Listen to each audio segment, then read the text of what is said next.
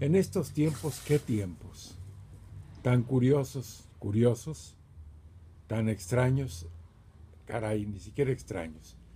La noticia que salió en los medios, no de información, sino de persuasión, de que el Sahara tuvo nieve, nos causó asombro.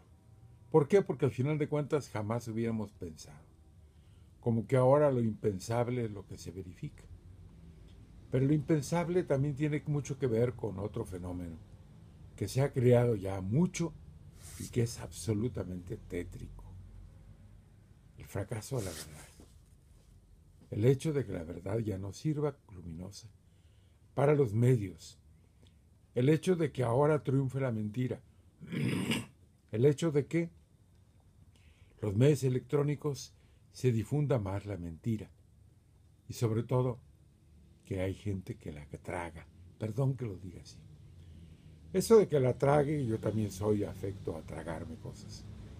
Me recuerda hace mucho tiempo una ocasión que alguna alumna me dijo, oiga maestro, ¿ya vio usted qué hermosa frase de Gabriela Mistral se anuncia en la Feria Internacional del Libro de Guadalajara? Me la mandó por mail.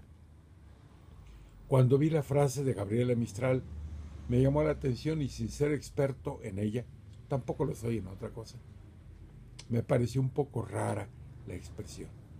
Me metí a San Google y San Google me apareció que efectivamente Gabriela Mistral aparecía eso.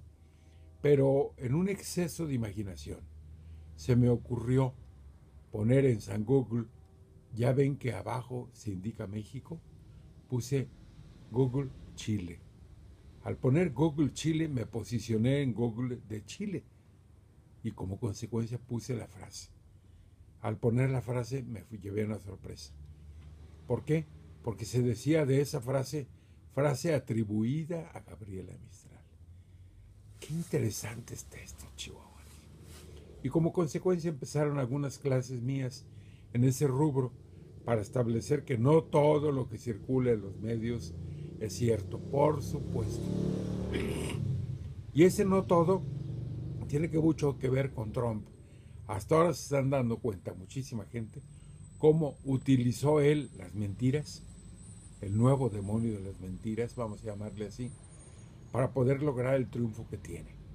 Esto es tétrico porque al final de cuentas es muy grave que no conozcamos la verdad. Es demasiado grave. Alguna ocasión me tocó hace muchos años, cuando vino aquí don Sergio García Ramírez, oírle en una plática y le comenté ¿Por qué los códigos no hablan de los códigos procesales encontrar la verdad? ¿Por qué hasta la ley general de víctimas se puede decir que se tiene que ponderar la verdad? Bueno, por lo lógico, porque al final de cuentas nuestro sistema todavía no es ni va a ser nunca perfeccionista y como consecuencia vamos a estar persiguiendo otras cosas. Esto es triste, por supuesto, y malo será en la medida en que no busquemos la verdad, en que los jóvenes sigan publicitando las mentiras, en que no indaguemos, en que no rasquemos, en que no vayamos a las fuentes. Ojalá y todos fuéramos a las fuentes, supiéramos ir a las fuentes, checáramos para poder establecer qué es lo cierto y qué no es lo cierto. A veces se dice que una mentira repetida produce los efectos de verdad. Qué grave eso. En fin, otros tiempos.